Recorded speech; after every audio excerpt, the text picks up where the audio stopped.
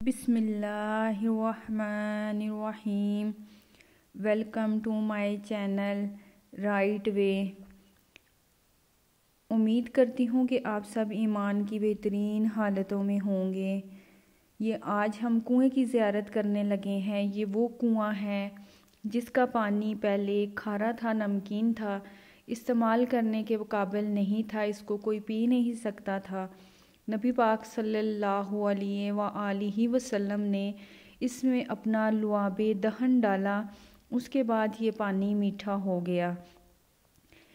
ये पहले कुआँ कच्चा था, बाद में इसको पत्थरों की दीवार लगाकर महफूज कर दिया गया, ताकि हर आने वाला इसमें से पानी आसानी से निकाल सके और पी सके, क्योंकि इस पानी में शिफा ही शिफा है। और शिफा क्यों ना हो जिसमें प्यारे आका सल्लल्लाहु अलैहि वसल्लम का लुआब दहन डाला जाए, वो पानी शिफा के अलावा कुछ और हो भी नहीं सकता। ये आप देखिए, यहाँ पे साथ ही में मस्जिद भी तामीर की गई है ताकि यहाँ आने वाले ज़ियारत के लिए जब तशरीफ़ लाएँ तो वो आसानी से नमाज़ भी अदा कर सकें।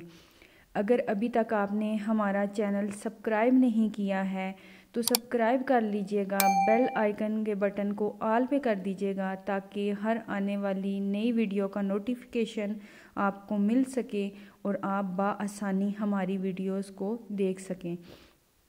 आप हमारे चैनल पे और भी मक्का मदीना की ज़ियारात कर सकते हैं तो प्लीज़ मेरे चैनल को विज़िट कीजिएगा और ज़ियारात कीजिएगा। जजाकल्ला